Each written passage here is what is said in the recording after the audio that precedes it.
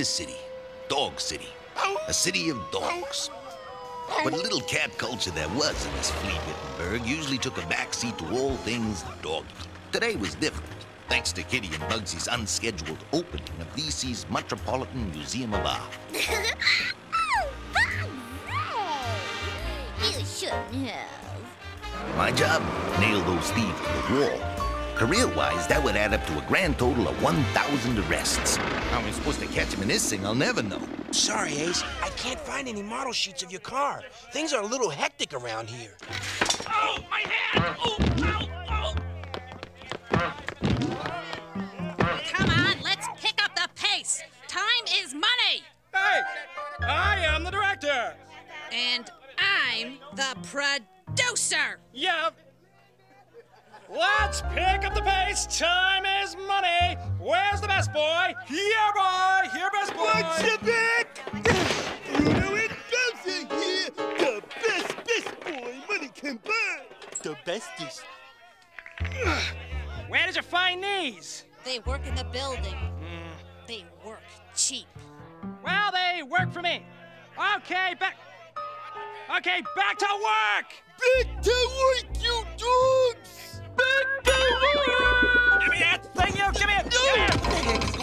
there? Oh, oh, they're doing a TV interview, Ace, for the Best of Show show. It's about canines. Interesting canines. And this week, it's all about me. I'm happy for you, kid. Every doggy needs a little recognition for his efforts now and then. Boy, you ain't kidding. Elliot? Oh, boy. Looks like this is the end of the road for Ace Hart.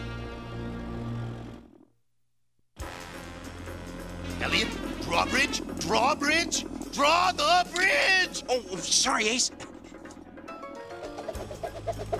Sayonara, sucker! Lucky for me, Bugsy ran into the one law he couldn't break. Ah! The law of gravity. Them's the brakes. And speaking of brakes... Elliot! Oops.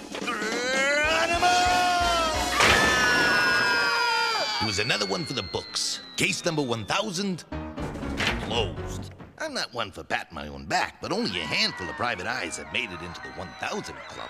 It was an occasion to be marked, a time to celebrate. Let the party begin! Hey, bash, kid. I just don't get it. 1,000 cases cracked, and all of my friends are no-shows. Where's the kudos? Where's the glory? Where's the dip? You know what you always say, Ace? Glory is for saps. Oh, yeah, well, you see, Eddie, uh, what I meant was, uh... Eddie? Elliot, what are you doing? Oh, sorry, Ace. I was just uh, thinking. Thinking I have no idea where this story is going. This interview has got me distracted, I guess. Wow, Mr. Shag. Sure is cool you having them use your apartment like this. Yeah, well, when you told me that, that DCTV wanted to interview a VIP, well, how could I say N-O? I was flattered. All right, that's lunch. Actually, what I really want to do is right.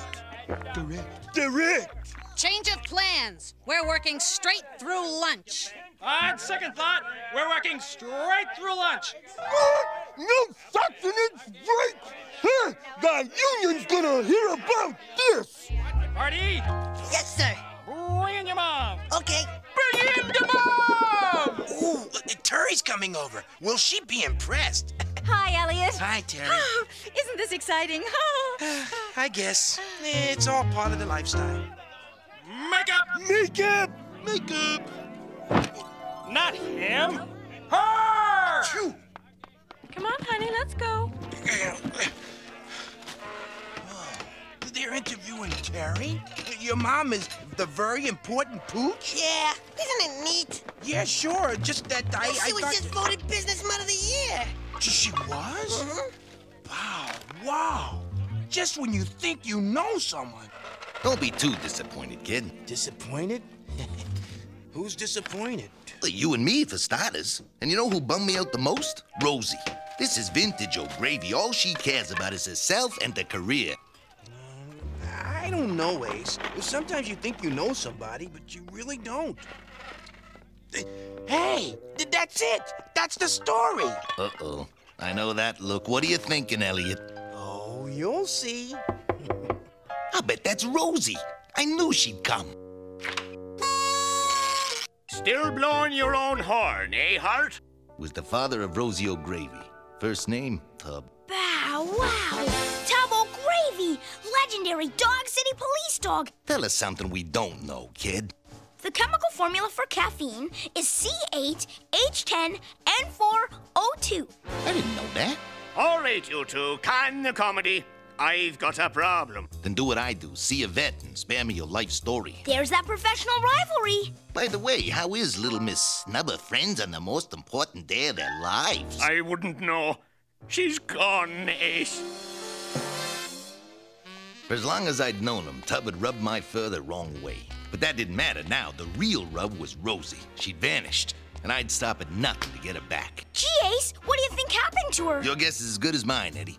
But I have a hunch it won't take long to pick up Rosie's trail, because I know everything there is to know about Rosie, and then some. Then let's get tracking. What's her address? I don't know. Why is she so by the book? I don't know. Any hobbies? I don't know. Middle name? I don't know. Gee, Ace, how are we gonna get anywhere like this? I don't know. Hey, look, it's Rosie. Where, where? There, there. Follow that cab.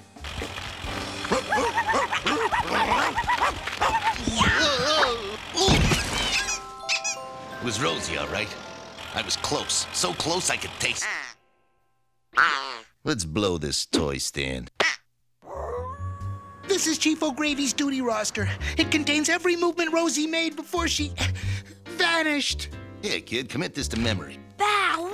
Bow wow! I had no idea Rosie was so civic minded. She delivers lunches to shut ins, she's a big sister on Saturdays, and she's donating blood on Sunday. I gave the guy directions once. Such a terrible, terrible loss.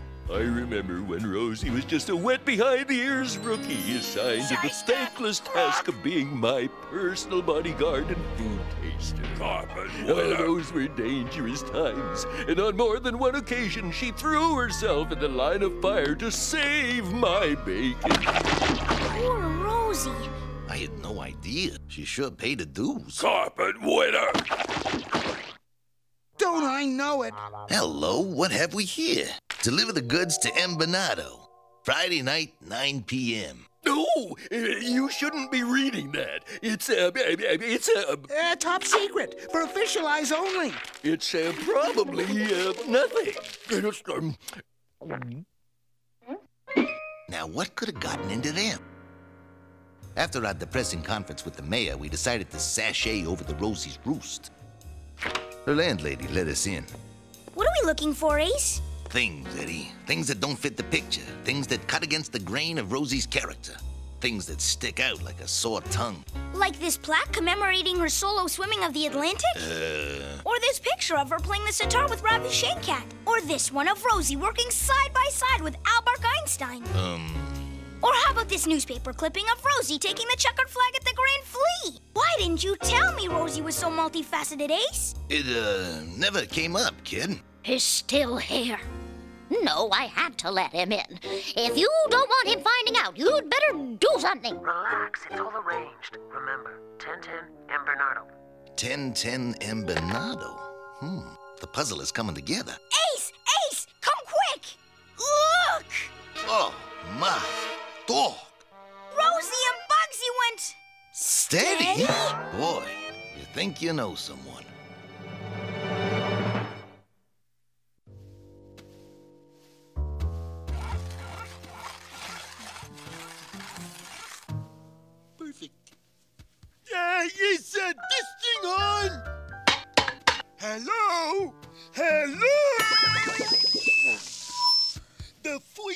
Time we met Miss Springer was via her written works. Not only did For Whom the Wrecking Ball Tolls leave the critics howling, but it changed us profusely. I am a new dog. How do they know all this? God! If Bruno knows more about Terry than I do, maybe Bugsy could know more about Rosie than Ace does. 1010 Empanada was a dead end. There was no such street in Dog City. At Eddie's urging, I decided to pay Bugsy Vile a visit in the Slammer. As number one bad dog in D.C., Bugsy stood to gain the most if Rosie was out of the picture. Talk, Bugsy. What have you done with Rosie? Whatever are you talking about? I didn't know you two had such a thing going. Ah, for the good old days. Ah, on second think, maybe we should talk. It is with deep regret that I admit that we had nothing to do with Rosie's bon voyage. I am equally remorseful that it is I that made Rosie what she is today. Allow him to elucidate. Those were the halcyon days, the days of my misspent youth at good old Dog City High. As the big mud on campus, it was only natural that the most popular dog in school should escort the head cheerleader to the prom. But she came down with mono.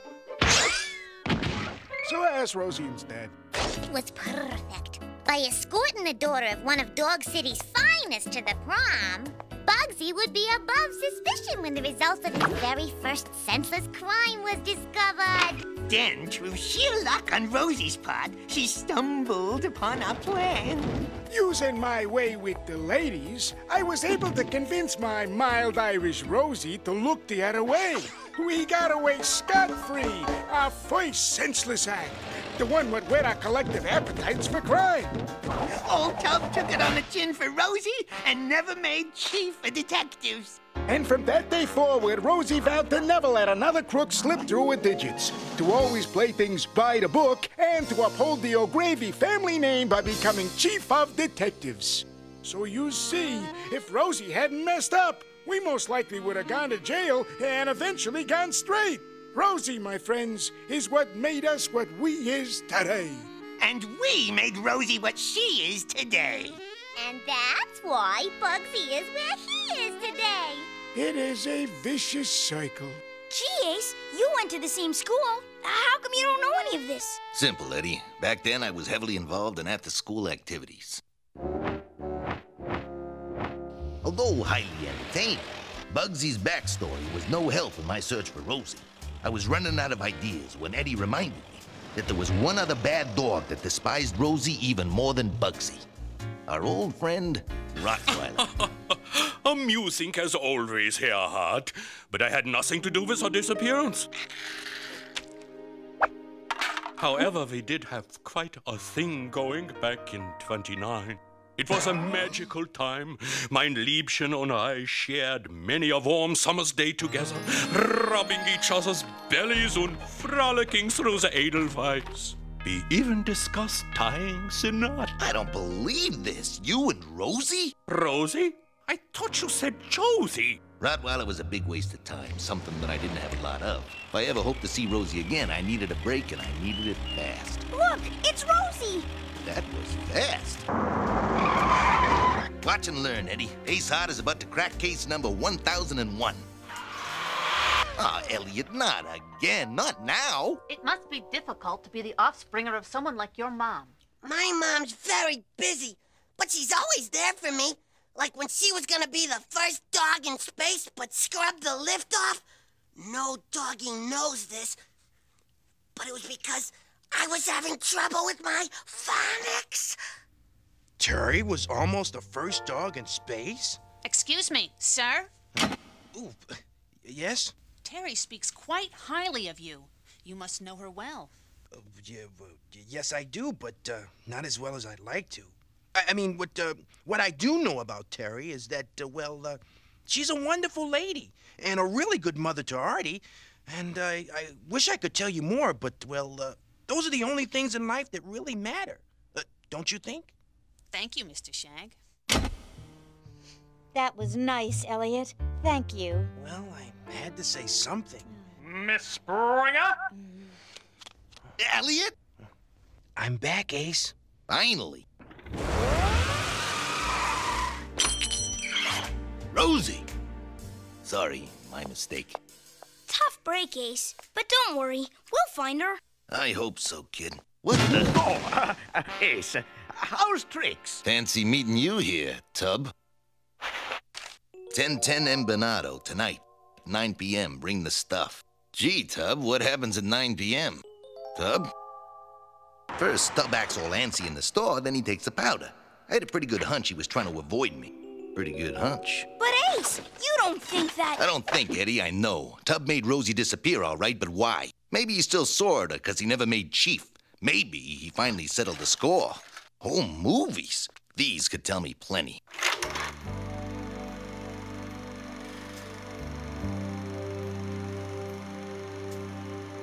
Aw, isn't that sweet? Yeah, sweet. Hey, wait a minute. Who's taking these pictures? Rosie's mom, Ace. Maureen O'Gravy. She sure is pretty, just like Rosie. She sure is. Mr. and Mrs. O'Gravy separated when Rosie was just a pup. Gee, I didn't know she had it so tough. Must have been hard growing up without a mom. It's a rotten shame, but it happens. How do you know all this? Rosie and I talk all the time. Don't you? Not as much as I should have. Aw, would you look at that? My old man never sewed a costume for me. The proud papa. He sure was there for her. Gosh, Ace, do you really think Tub could have done it? The kid was right. Any ideas I had about Tubham and Rosie had disappeared as fast as the kibble. Go on home, kid. Give your folks a hug for me. I'm Ace Hart, private eye bum. The only thing I knew for sure was that I didn't know Rosie at all, that I'd trade every one of those 1,000 collars for just one more chance to see her. The biggest day of my life was becoming the worst. I was at the end of my leash, out of leads, and then it hit me. It was the break I was looking for. 1010 M was a code for 1010 Doberman Street. And it's almost nine. Boy, I'm doing here? I could ask you the same thing. I thought you went home. Um, yeah, I did, but I'm taking a shortcut. Goodbye. See, heel? There was definitely something strange going on. All day, people have been acting screwy. Now Eddie had joined the club. Number 1010 Doberman, I presume? Eddie? Eddie, say something, kid. Okay, Ace. Surprise! Congratulations, Ace. Rosie, I thought you you vanished. And miss your party? You know me better than that, Ace. I think I've been had. This whole Rosie was missing thing was just a scam. And you were all in on it. Tub O'Gravy, Rosie's landlady, Mayor Kickback, Spunky the Flunky, and last but not least, Eddie, leading me around by the nose. I should have known. Some detective. Happy 1,000 colors, Ace. Ah, you guys. You shouldn't have. Don't thank us, Ace. This was all Rosie's idea. Come on, Rosie. Let's see if the band knows any hot sitar numbers. You like the sitar? Boy, you think you know someone. I was seeing Rosie in a totally new light. The Rosie I found was very different from the Rosie I set out to look for. Yes, I've led an interesting life, but success shouldn't be measured by fame or fortune, or even being interviewed for a TV show. The true measure of success is family and friends. And if you have those, you have it all. That's a wrap! Kill the lights! Kill the lights! Killing the lights. Great interview, Terry. There's so much about you I hardly know. I uh, feel kind of silly. Oh, don't. I'm no expert on Elliot Shag either. Hey, Mr. Shag, Mr. Shag! Mom's show is on next week. Why don't you watch it with us? Oh, I don't know. I. Uh, Yes, it'll give us a chance to get to know each other. Well, then, uh, I'd. Uh, I'd See you be, uh, then. Bye. Nice going, Romeo. There's only one catch. Their show was on at the same time as our show. Oh, yeah. Yeah, but I fancy myself a pretty good judge of character. When the time comes, I know what show you'll be glued to. You'll be watching our show, right? Sorry, Ace. Besides, I already know how our show ends. Elliot, you can't do that. Where's your dedication? Where's your loyalty? Where's my bow tie? Elliot!